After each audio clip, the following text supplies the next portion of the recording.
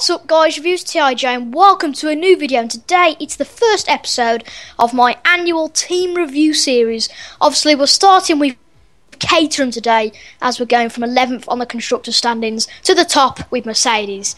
Joining me for the second time um, in two years is Ben for this season. What up peeps? Well, not the season, but the series. But as I said earlier, we're going to be talking about Caterham today. And just an introduction to this video, we just want to give you a couple of stats about the team. So the team has attended 17 of the 19 races this season, obviously missing um, USA and Brazil due to financial issues. Uh, Ericsson had the best finish of the season for Caterham with 11th in Monaco, nearly, nearly grabbing some points for him. And Kamui Kobayashi did the best qualifying, actually in Australia, qualifying 14th, only to be wiped out at the first corner by a certain Felipe Massa.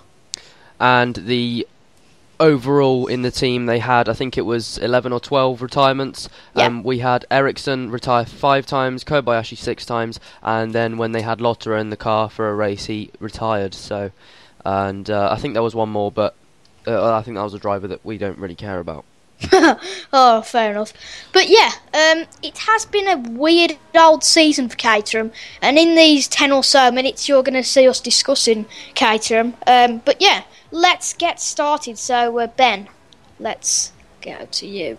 Okay. Uh, best. What? What? In what? In your opinion, what was the best individual race for any of the drivers, and uh, the best team race?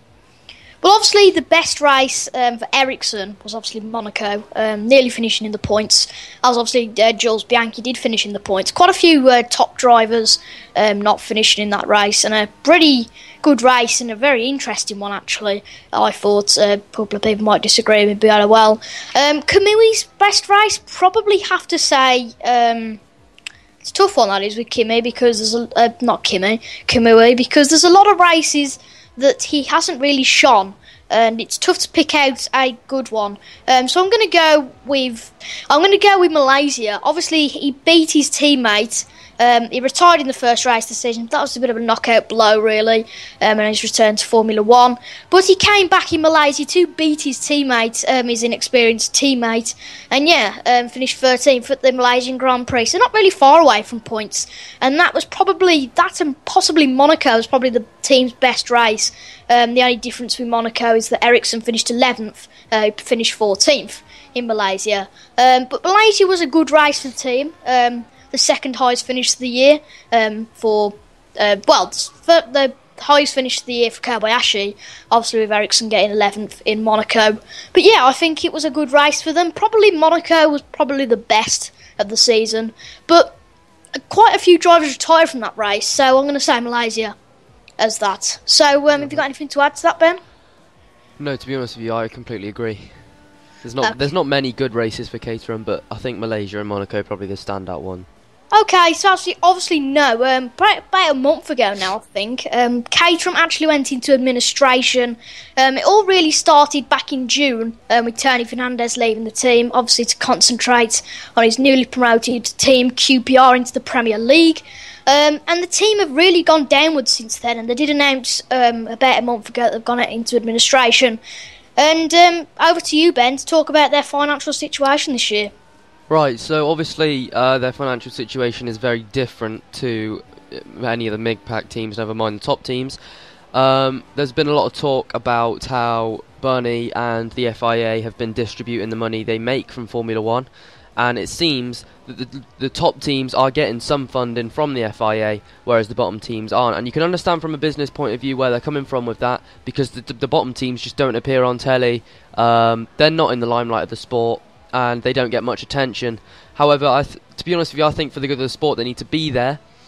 Um, it was very, very sad when um, we lost both of the teams uh, for two races, the Marussia team and the Caterham team. They both went down very different routes, though, in terms of trying to get back into the sport. Marussia uh, are looking for kind of internal help, uh, new owners, maybe investors, but uh, Caterham went down the route of uh, kind of fan funding. So you go on a website, Crowdfunding, yeah. yeah, um, and you donate to the team, and you get rewarded by like they give. I, I looked at it and they they gave away like t-shirts, hats, and whatnot. And if you paid a lot of money, you get to go out with the driver for a night. So there you go. Um, but yeah, d- very different routes. I think uh, the FIA weren't very happy, uh, particularly Bernie. I think he said it was a disgrace what Caterham were doing, asking the crowd for funding. But uh, yeah, very diff- very different from any of the other years. Uh, I think, like Toby said, it was since uh, Tony Fernandes left. Um, I think it just messed them up really, and um, yeah, I think we're going to talk about uh, what we think they're going to do next year later. But I think we're going to go on to five thoughts from the community about Caterham this year. Yeah, I'd just like to add before we go on to that the fact that I don't really see why Bernie's saying it's a disgrace because at the end of the day, if they're not getting funding from uh, funding funding from Bernie, you know he's got to see if, if they've got to see if they can get funding from elsewhere. And they did turn to the crowd, and you know they raised over two million pounds. So fair play to them. And as Ben said, we are going to go on to five thoughts about Caterham um, which is new for this year. Um, I asked you guys on Twitter yesterday, um, what are your thoughts on Caterham this season? Um, we only got four thoughts, unfortunately, for this episode. But um, yeah, Ben's going to start with the first point from Harry. So, Harry at HW Divider, I'm sure some of you know who he is, has said five years, no points, not much else to set to be said. And to be honest with you, I can't blame him. Um, I think when HRT and Lotus, well, they were Lotus at the time, and um, Virgin at the time joined the sport. I think they were thinking it was going to be um, a chance for them to climb the sport and you know maybe be in the mid pack by now, but it really hasn't worked out. HRT are gone. Um, Virgin went to Marussia. Marussia's out of business. They're gone. Uh, well, as far as we know, and obviously now Caterham are gone. And it was only Marussia, only Marussia scored points out of all those three teams, and it was actually, unfortunately, the year that they've basically left, left the sport. So I completely agree with what Harry said. And Toby, do you want to go on to the next point? So from F1 Maestro 26, same as his um, Twitter whatever you call it, Twitter tag, Handle. we'll call it for yeah. this. Um, he says better than last year, but not as good as 2012. I can agree with him there. Um, obviously, you can say that HRT were in the sports in that year, and Marussia weren't as good and strong than they were in 2013. Um, so yeah, Caterham were good in 2012. However, it was pretty easy to beat HRT because HRT was a terrible car that year. And um, I think it was Marussia. They were Marussia that year, weren't they? Yeah, they yeah. did turn to Marussia then. Um, but Marussia weren't, weren't as good, but obviously the next year um, when they appointed Bianchi and Chilton, um, they're a much better team. But definitely, yes, better than last year. Not as good as 2012. Obviously, we were talking a lot more about Marussia next episode. So the next point from StopMat 1998. Uh, it says not very well. In, I'm assuming he's talking about their season hasn't gone very well, but you can't blame them due to their lack of funds. And we've already spoken about their financial situation, and it is completely correct. I mean, it, I, I think if any team had as much money as Mercedes or Red Bull, they'd be up there. Um, it's just how they spend the money they've got, I think, and I can't see them doing much better with the amount of money they've got. But um, there's not much else to be said uh, on that point. Yep, so last one from Dark Sonic, which his Twitter handle is at Dark Benny. Um, you can probably see on the screen, but uh, I'm going to change it a little bit because I don't really want swearing in this video. But um, let me quote Kimi on this one. I'm going to say naff, but you know what it says. Um, Really bad year. Ericsson slow. Car not competitive. Um, I kind of disagree actually for the second part of the season with the second point because I don't know about you, Ben, but I think Ericsson's proved himself, and that's why he's going to be in F1 next season with um, Sauber. But definitely the start of the season, Ericsson wasn't very good. But let's face it, Kamui Kobayashi's been in F1 a long time, hasn't he? Mm. And the car hasn't been competitive this year at all whatsoever. Probably with the engine, they didn't have a Mercedes engine, obviously. Um, Marussia had a Ferrari engine. I think probably the Ferrari engine is the second best on the grid, with the Renault being the third best. I don't know what you think of that, Ben, but uh, we'll talk about that a bit later. Um, but yeah, he said really bad year, Ericsson slow, and car not competitive. So if there's anything else you'd like to add, please add it now. Well, uh, to add to that, Toby, I, I can see where you're coming from where Ericsson's proved himself. Um, he's definitely not, in my opinion, a future world champion. Oh, no, no. no. but I don't think he's um, a good driver.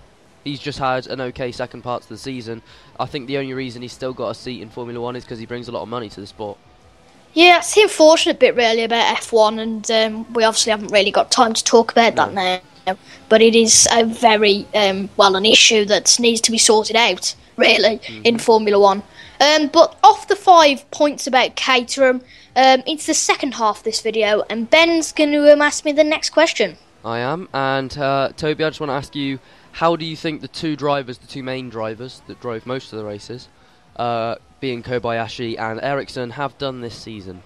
Well, obviously, I was just talking about that a little bit um, about Ericsson improving the second half of the season. Actually, his results weren't so good the second half of the season. Obviously, his best result coming in Monaco, um, in uh, obviously Monaco with 11th place. Um, but the main thing is he has been quite consistent over the uh, second part of the season, really. Um, because you know he scored 17th in Belgium, 19th in Italy, 15th in Singapore, and 17th in Japan, which for a Caterham is actually pretty decent, especially 15th in Singapore. Um, he has probably improved over the second half of the season, and I know Kamui Kobayashi is getting on a bit, and he's quite he's getting a bit older now. But Kobayashi probably has trained him a little bit, um, you know, just to get used to the car. Obviously, coming out of I think GP2 last year. Uh, I uh, can't really remember now that back far. But anyway, uh, moving on to Kobayashi. Um, he's had a decent season, but being away from F1 for one year really, really didn't help him. As you can see, his best result was um, 13th place in both Malaysia and Monaco. But apart from that, he hasn't really shone at all this season. Um, with two 15 places in Great Britain and Bahrain um, and 16th place, 17th place, 18th place is there and there. Um, he has had five retirements this year, which is one more than actually it's yeah five. To, is it six? I no, it's six, six retirements. Yeah, yeah. Um, with Ericsson having I think that's four. Um, five. That's five. Um, my eyes are deceiving me today. Um, but Kobayashi, obviously, you know the car's not so reliable, so you can't really say much on that. But been a decent season for Kobayashi, but I think sadly it's going to be Kamui's last in F1. Yeah, I agree. So, Ben, I'm just going to ask you now. We talked a little bit about this earlier. Um, what are your thoughts on Caterham going into 2015? Will they be here for the whole season? Or? Um, well, I think you said earlier that they offered, was it Jolyon Palmer? A, yes, Jolyon Palmer. They offered him a contract um, with the team. Now that would strongly suggest they are going to be here next season, uh, be in sport next season. Um, I think they're still going to just be one of the slowest teams in the at the back of the grid. And if um, Manor F1 team don't get their act together and they aren't there next season, who are Caterham going to have to compete against? Yeah, is kind of kind of been a bit of a boring season. If they can't improve that car, they're just going to be all together at the back. Yeah. And just going on to that Jolyon Palmer point, yes, um, he actually um, rejected the offer. I think according to the Telegraph. But with the pace that the Caterham's got, the lack of pace that Caterham's got, I'm not surprised that he rejected the contract. Really. No, and the fact that they're an unstable team at the at this current moment in time. Um, I think if any GP2 driver wanted to get into Formula One, they'd want to be in a team a mid-pack team. Um, you know, like when uh, obviously Kvyat, he wasn't in GP2, but he went into the Toro Rosso team. They're a solid team. Teams like that, teams like Force India, who are improving, I think, um, but we'll talk about them in another episode. Um, that's the sort of teams that GP2 drivers go into. If, I think if I was a GP2 driver and I just won the championship, um, Caterham would not be one of the teams I want to go to, particularly with their financial situation, which we spoke about earlier. Um, but Caterham in 2015, um, if they are there, like we said, I, they won't have anybody to compete against if they don't improve. Um, but I can't see them improving with the funds they've got. So um, if they're in 2015, it's going to be a tough season. Uh, if they're not in 2015, then I, I suppose they can concentrate on uh, stuff elsewhere. Yeah, I suppose. I uh, just want to add in there. Obviously, it looks like they're going to be here next year. Who do you think the lineup will be? um, this is a tough one, I know. God knows they'll probably find some kid off the street um, who take a tanner. Um, but I don't know. Uh, uh, what those drivers that they used in Abu Dhabi? Uh, well, they used that uh, Will Stevens guy, yeah. Yeah. It, what is he? Is he like their test driver or? Well, I don't know. Apparently, he's in Formula Renault 3.5, and apparently he paid in excess of over half a million to get that drive in that um, in that weekend. So obviously, he was a paid driver, but Oh. I doubt he'll be here next year. But oh well, we'll see how it goes. It'd be nice to see a British driver on the grid, wouldn't it? Uh, yeah, because by the looks of it, the only British driver next year is going to be Hamilton. But um, yeah, I don't know. Their lineup could be oh, anybody. Well, okay then, so that nicely concludes that subject. So we're coming to the end of the video, but before we finish, um, we're going to give Caterham a rating. Um, it's going to be a very hard one, isn't it, really? Because, like I just said, like I said earlier in the video, they haven't really performed this season, have they? Well, no, but they haven't performed in any of the seasons. But yeah. Well, yeah, I suppose. Um, what rating would you give them? Um, well, we got to think about the rate. We can't just rate them on, on their, you know, based on their past performances because then when we get to teams like Mercedes, uh, Caterham might be kind of similar. But um, I think I'm just gonna have to give them probably a two Two. Yeah. okay. Then. out of ten. We're going out of ten. All right then, two out of ten. that sounds decent. Um, so um, I will be asking on Twitter, probably even before this comes out, um, what your thoughts are on Marussia. Oh, sorry, Sauber, not Marussia. Chill out, Sauber. Um, what my thought, your thoughts on Sauber of this season. So make sure to um, check my Twitter out if it's um, it's already been posted. But I hope you have enjoyed the first episode of the Caterham um, team review. Um, and if you've got any thoughts, please put them down in the comments. I'd love to have a discussion with you guys in the comments, me and Ben. And I think that uh, pretty much wraps it up for this video. So um, I'll see you later, guys. Goodbye. See ya.